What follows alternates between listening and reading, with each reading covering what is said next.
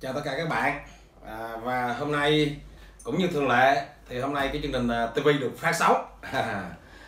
À, và hôm nay mình à, sẽ giới thiệu với các bạn à, một bạn trẻ còn rất là trẻ à, và rất rất là tài năng. Bạn là, là giám đốc của công ty gạo công ty gạo Vinh Hiển. Các bạn thấy không ạ? Công công ty gạo Vinh Hiển. À, và bạn là Huỳnh Thế Vinh. À, và bạn là người miền Tây luôn. À, là cái vựa gạo của Việt Nam của chúng ta và nó cũng là cái vựa gạo của thế giới luôn.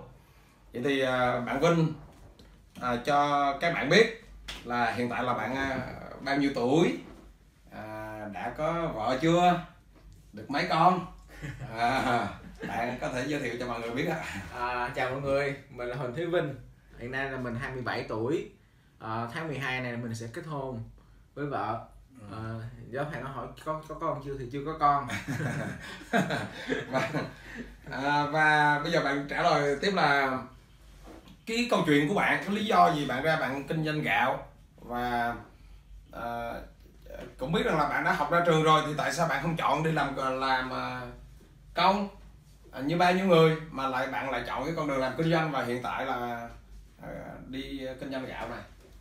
À, cái câu chuyện của bạn Chào thầy thì uh, sinh ra trong gia đình ờ, với 22 năm 22 năm làm trong lĩnh vực gạo. Uh, mình thì mình học chuyên ngành là về không phải về kinh doanh hay là là, là gạo.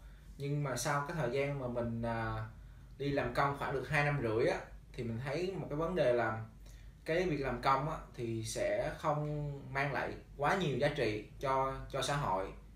Đặc biệt là những người nông dân những người mà mình à, gắn bó tuổi thơ ấu với với họ thì mình quyết định với gia đình- với cái truyền thống gia đình mình thì mình sẽ quay về làm một cái ngành gắn bó với rất nhiều người nông dân gần 20 triệu người nông dân Việt Nam làm lúa gạo thì à, mình sẽ tiếp tục cái con đường của ba mẹ mình là kinh doanh sản phẩm lúa gạo Vâng, rất là tuyệt vời.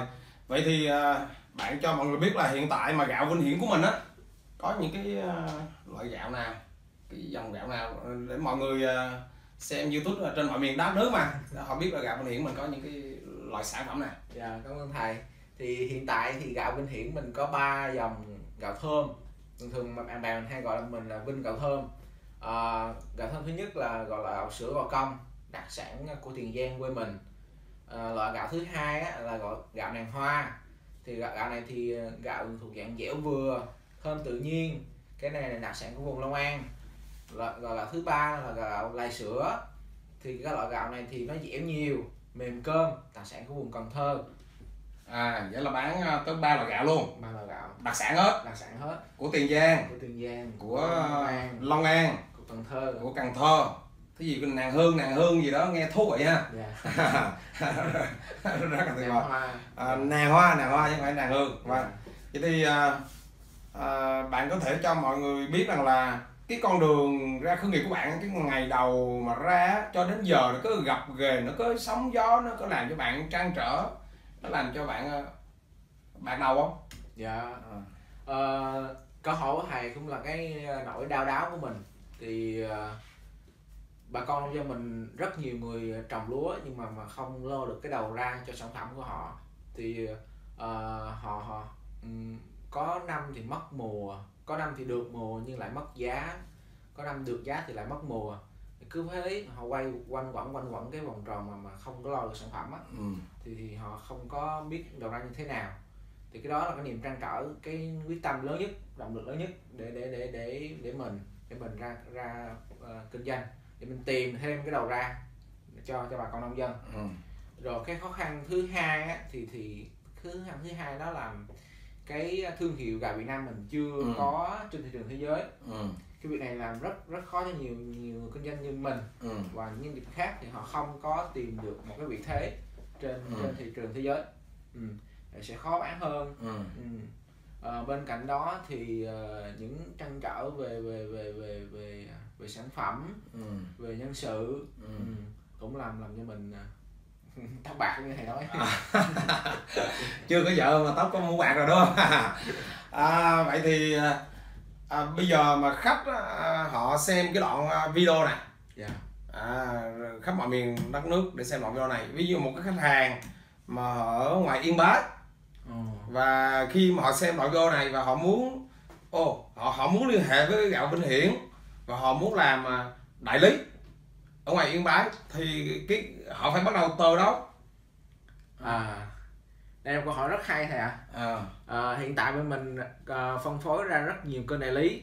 Thì đối với những à, khách hàng mà ở xa cái tỉnh miền Bắc chẳng hạn thì bên mình sẽ vận chuyển bằng à, container qua đường thủy. à, à, sau đó mình sẽ giao đến đến đến ừ, tại địa phương đó luôn. Ví dụ À. như Yên Bái hiện tại mình đang giao Hà Nội và Hưng Yên. Ừ, đó là những cái cái tỉnh mà mà xa với bằng sông Long. À, thì ờ, vì bắt đầu để bắt đầu kinh doanh gạo á thì thì các bạn đã biết thì gạo là cái nhu yếu nhu yếu phẩm cần thiết cho mỗi gia đình Việt Nam. À, thì thì thì để kinh doanh cái trong lĩnh vực này á, thì bạn phải nắm được cái ờ, nhu cầu Ừ. nhu cầu thị trường. Ừ, ờ, dân của bạn người vùng quê bạn ờ, khu vực thành thị đó ừ, thích ăn gạo gì ừ, giá cả bao nhiêu tính chất Ừ. gạo như thế nào. Ừ, thì để để kinh doanh phải nắm được nhu cầu thị trường nhu cầu Ừ. khách hàng. Ừ, tiếp đến thì mình phải dự trù được cái ờ, nguồn vốn. Ừ, À, với cái mô hình mình thì vốn bao nhiêu là đủ. Ừ. à, nếu lớn thì thì khoảng vài trăm triệu còn nếu nhỏ thì bắt đầu chừng 20 30 triệu thì cũng có thể kinh doanh được. À. À. À, vậy thì nó như vậy nè. À, rất nhiều người họ muốn kinh doanh họ ở một cái khu dân, dân cư đó. Họ muốn cái dân cư đó họ ở trong một cái căn hộ mà có cái khu đó có một ngàn căn căn hộ vâng. À, hoặc là cái khu dân cư đó. Dạ. Và họ muốn mở một cái đại lý gạo ở cái khu vực đó. Thì thứ nhất nè họ cần à, cứ họ có cần thủ tục kinh giấy phép kinh doanh không? Rồi à, nguồn vốn ước lượng là bao nhiêu? Ờ, và họ lấy à, đơn hàng đầu tiên là bao nhiêu? Rồi à, bản hiệu rồi như thế nào rồi cái cách đó là làm sao để mà họ đi đến từng nhà để họ giao hàng tức là tức là một người họ rất là mới nhưng mà họ rất là muốn kinh doanh gạo. Thì thì thì thì, thì bạn có thể giới thiệu sơ hướng dẫn sơ để cho mọi người biết là à, cảm ơn thầy câu hỏi này. Thì à, đối với những người mà sống ở chung cư hay căn hộ á thì cái họ trước tiên là họ có rất nhiều khách hàng. À, khách hàng mà cùng cùng cái à, cái mức sống với họ ví dụ như nếu mà bạn ở một cái căn hộ cao cấp thì khu vực họ uh, những người mức độ sống thì đều là cao cấp. Phân khúc khách hàng giống nhau thì mình nắm được cái cái cái phân khúc khách hàng đó rồi rất là dễ bán. Uh, cái vốn ở thành phố Hồ Chí Minh hiện tại á, cái vốn để mở một cái cái cửa hàng gạo nhỏ mà để kinh doanh gạo thì không không quá nhiều. Do bên bên mình đã có nhiều chi nhánh và hỗ trợ rất tốt cái phần này.